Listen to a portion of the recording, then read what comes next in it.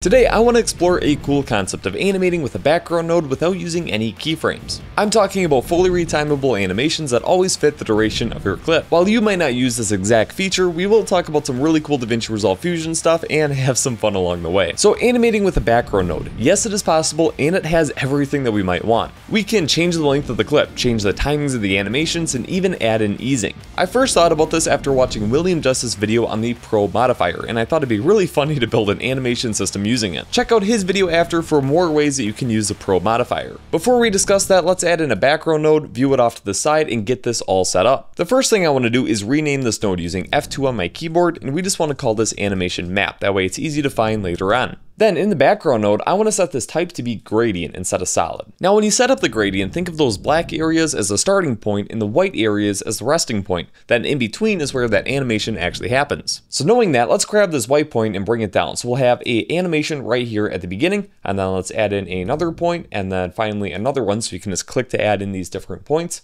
come down to the color and bring this last one to be black. So essentially we've programmed it to have an animation at the beginning, hold that value until the end, and then animate off once it reaches the end. Let's say that we want to apply this animation to some text, so animating the size. If we're animating the size property, the first thing I want to do is right click, modify with, and do anim curves. This is going to add on the anim curves modifier if we switch to the modifiers tab. And I know this isn't the probe modifier, but I want to add this one right away so that way we don't have to come back and redo everything later. Once that's been added, let's switch the source from transition to custom. This is going to add in this input slider. On this input slider, we want to right click, do modify with, and now we will add the probe modifier. Inside the probe modifier, there's this image to probe box. We want to grab our animation map and just drag it right into that box. So now that probe modifier is going to be referencing our animation map or that, that background with the gradient. Let's have the gradient off to the side so we can see what's happening. In the Probe modifier, if we move this position around, you can see nothing is going to happen while it remains on the white, but as soon as I bring it to one of the edges, it's going to scale down as it reaches the black. We'll be able to change the actual values of the scale later, but essentially what we need it to do is start all the way on the left and then just move off to the side like this, come all the way to the end, and then continue going so it animates off. In the Probe modifier, we have the different channel select, so we can do red, green, blue, alpha, and luminance. In this case, you can do any of them except for the alpha value because it is there's no transparency in our gradient. But depending on your image, you could change it so it works on just the red channel or just the blue channel to get some different results.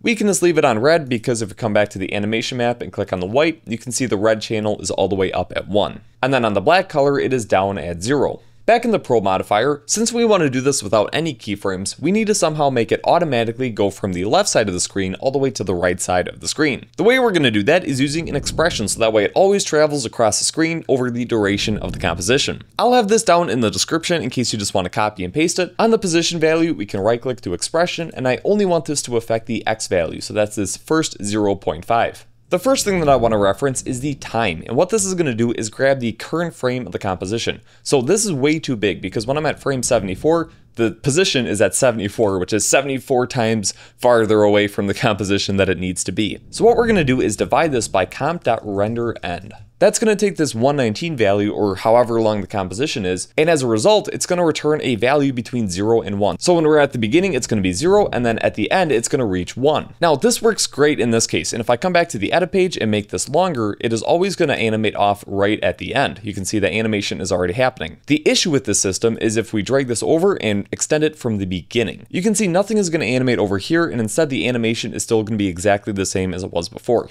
If we go into Fusion, it's because we're working with negative numbers. So to fix this, we just need to add a few different things to our expression. So the first thing is time. We want to offset this by the start. So if I add a opening parenthesis, go to the end of time, do negative comp.render start, and then add in a closing parenthesis, this is going to get us closer. It's going to start at zero, but now it's going to end way too soon because the animation isn't long enough. So we need to do the same thing to the end. So if I add a opening parenthesis and come to the end and do minus comp.render start, now it's always going to update it. So at the beginning, even if it's a negative value, it's going to animate on, and then at the end, it's going to animate off. Again, I have that expression down in the description, so if you just want to copy and paste it, it's going to work in any comp, and that way it's a little bit easier to see as well. But now that we have that done, we can hit play, it's going to animate on, and then at the very end, it is going to animate back off. So now there's two main things that we need to address, the easing and the customization. That is where the anim curves modifier is going to come in. Anim curves is going to be driven by whatever comes into this input value. So it's going to take that value, it's going to modify it in some way, and then it's going to output it to our size control. By default, the curve is set to linear. We can change this down to be easing or custom. So if I do easing, it's going to add two more drop down menus. So I can change this to something like quad and expo. So I can add easing on both the ease in and the ease out. There's a really nice website linked down below that visualizes all of these different easing functions. Now when we hit play, it's going to seem a lot smoother. You can also come to the easing, come down to custom, and add in your own easing curve. And all of the same spline controls work here, so you can do control A to select all the points, press F on your keyboard, and T to open up this easing control. So you can just drag these points back and forth to create a really nice curve uh, that is totally custom and works really well. That looks really good, so I'm just going to leave it on that for now. Now for customization, if we come down, we have the scale and offset. The offset control is where the animation is going to start from, and then the scale is what is added to the offset over the animation. So if I hit play right now, it's going to scale up even bigger. So changing those, I can just make a slight animation, or if I make the scale negative, I can actually have it scale down during the animation,